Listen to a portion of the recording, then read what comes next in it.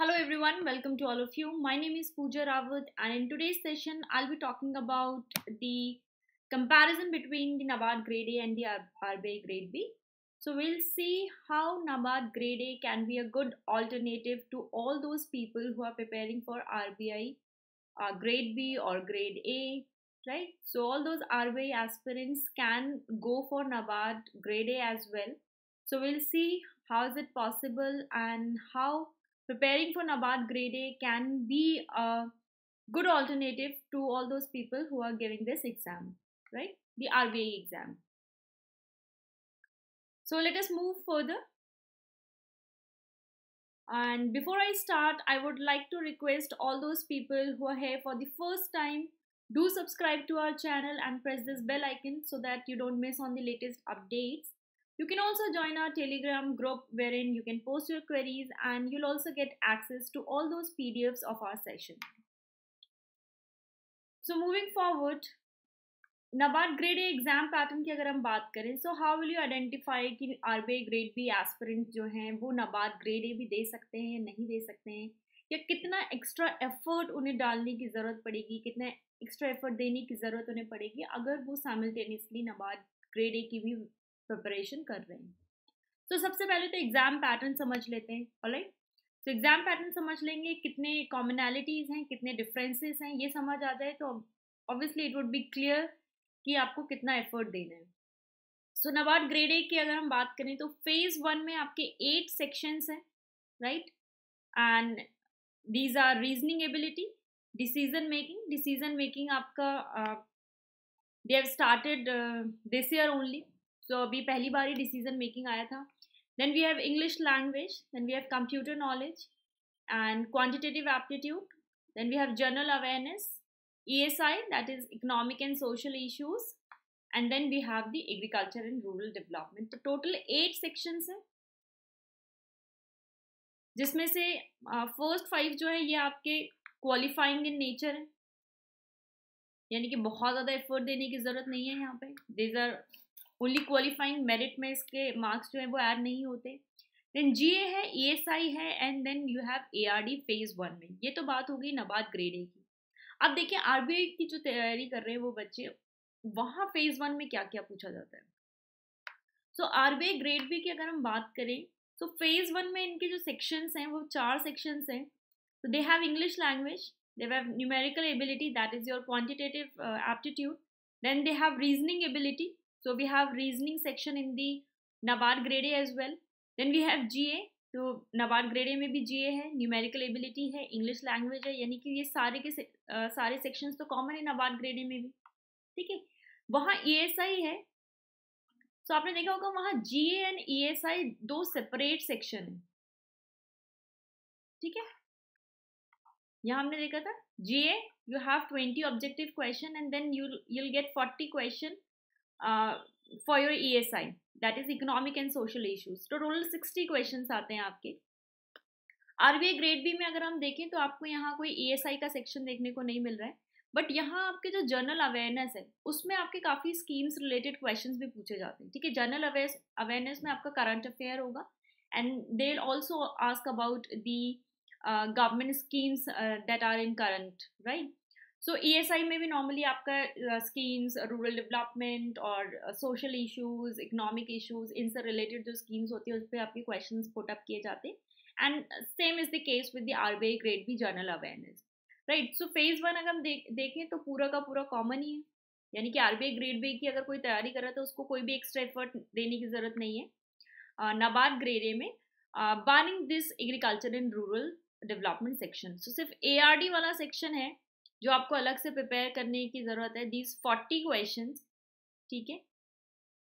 And believe me you just have to give one month time ठीक है? सिर्फ़ एक महीना आपको देने की ज़रूरत है people who are preparing only for R B I ठीक है? तो एक महीने में आप ईजिली ए आर डी का सिलेबस कवर कर सकते हैं and easily you can attempt these question ठीक है? तो बहुत ज़्यादा डिफ़िकल्ट क्वेश्चन नहीं होते, काफ़ी जनरल क्वेश्चन होते हैं प्रिलिम्स पास करने की अगर मैं बात करूँ ठीक है तो प्रिलिम्स क्लियर करने की अगर मैं बात करूँ तो बहुत ज़्यादा डिफ़िकल्ट क्वेश्चन नहीं आते हैं। अगर आप, आप बाकी ई एस आई में और जी ए में अच्छा स्कोर करते हैं तो ए आर डी में अगर आप ट्वेंटी क्वेश्चन भी कर लेते हैं सही so that will be more than enough ठीक है? तो बहुत ज़्यादा एफर्ट मारने की ज़रूरत नहीं है आपको।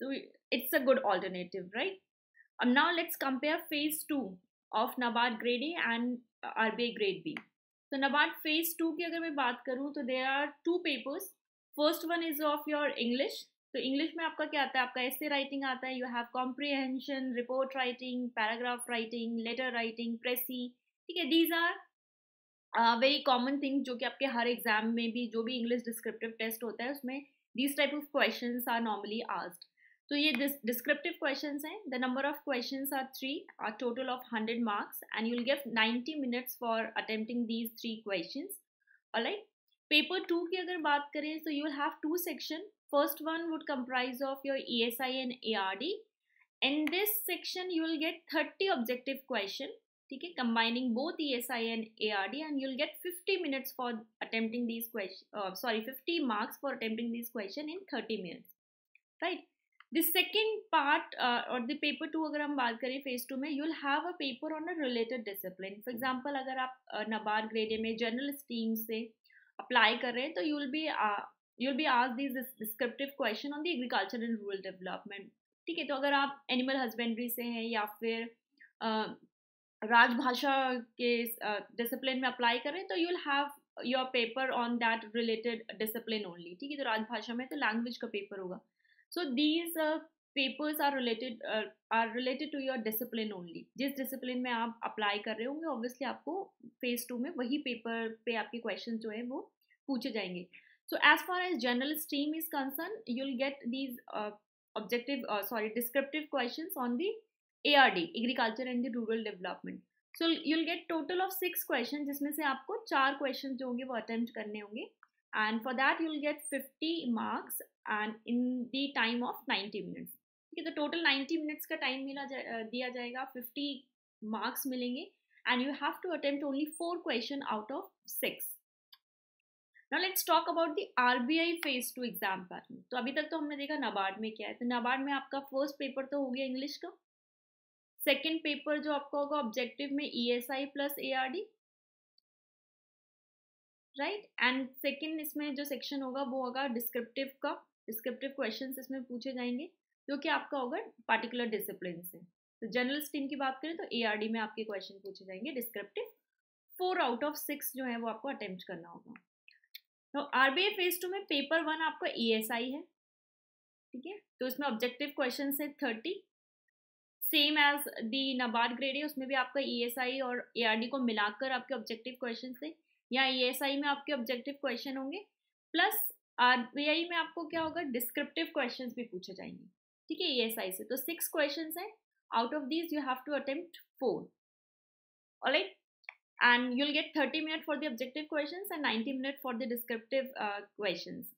Paper two you'll have to attempt English ठीक है तो इंग्लिश का पेपर है यहाँ सिमिलरली राइटिंग स्किल्स आपकी टेस्ट की जाएँगी। जैसे कि नबार्ड ग्रेड ए में था report writing essay precis reading comprehension same is the case with the R B grade B तो यहाँ भी आपको सिमिलर टाइप के क्वेश्चन जो हैं वो अटेम्प्ट करने होते हैं। That means this paper is common कोई एक्स्ट्रा एफर्ट नहीं देना।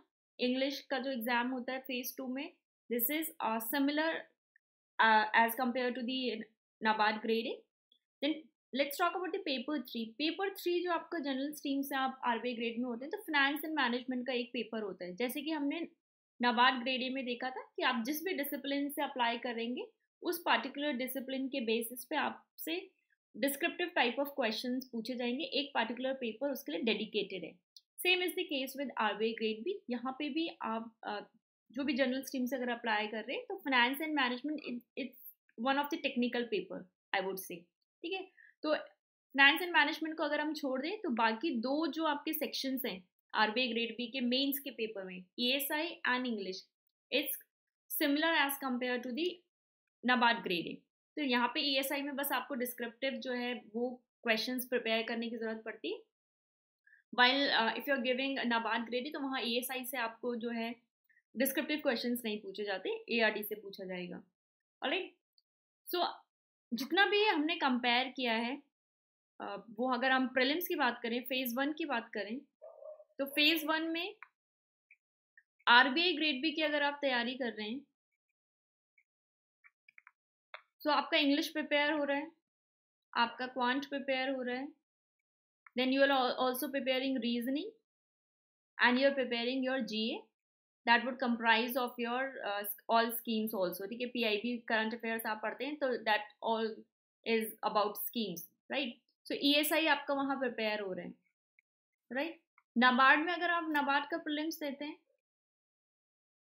नबार्ड फ़ेज़ वन की अगर मैं बात करूँ तो ये सारे सेक्शंस तो कॉमन हो गए? और एक पाँच सेक्शंस तो कॉमन हो गए? आपको एक्स्ट्रा एफर्ट कहाँ देना है? सिर्फ़ एक एआरडी में and then you have the computer knowledge computer knowledge बहुत बेसिक क्वेश्चन पूछे जाते हैं। आप अगर दो या तीन दिन भी कोई भी किसी बेसिक बुक से पढ़ लेंगे इनफैक्ट सबको अवेयर होते हैं, ये कंप्यूटर नॉलेज बहुत बेसिक पूछी जाती है। ठीक है दो तीन दिन भी अगर आप किसी बेसिक बुक से रिवाइज कर लेंगे, पढ़ लेंगे तो you can easily attempt these questions and वैसे भी ये जो है, वो क्वालिफाइंग इन नेचर है तो बहुत ज़्यादा एफर्ट इसमें देने की ज़रूरत नहीं है। So A R D is the only section जहाँ आपको थोड़ा सा टाइम डिवोट करने की ज़रूरत है। राइट फ़ेज़ टू हमने कंपेयर कर लिया। फ़ेज़ टू में English is common E S I is common ठीक है पेपर थ्री जो होगा, वो आपका एक टेक्निकल होता है, जो कि आपको प्रिपेयर करने हो, करना होगा। फॉर दीज एग्ज़ाम्स ठीक है? सेपरेटली प्रिपेयर करना होगा फॉर दीज एग्ज़ाम तो हम देख रहे हैं कि सिक्सटी टू सेवेंटी परसेंट तो कॉमन ही है right so we can easily say that this NABARD grade is a great alternative to all those people who are preparing for R B I R B I grade B और grade A right so th uh, this was all I wanted to say. I wanted to compare these two options, how good it is to uh, prepare simultaneously both for NABARD grade A and RBI grade B, right? This will be a great alternative career to these people uh, as we have seen that ये जो exams हैं काफ़ी इसमें cut throat competition जो है वो देखने को मिलता है it would be uh, a good choice कि आप simultaneously दो options को जो है वो कंपेयर करें और आपको दिख रहा है कि दोनों में आपको बहुत ज़्यादा अलग सेपरेटली इंडिविजुअली एफर्ट देने की ज़रूरत नहीं है। You can prepare simultaneously for वो these exams and there is a good gap between the between these two exams so you can easily prepare as well right so this was all from my side I hope it's clear and I hope I could help you out in this So I'll see you in the next session. Till then, keep working hard, keep studying. Goodbye.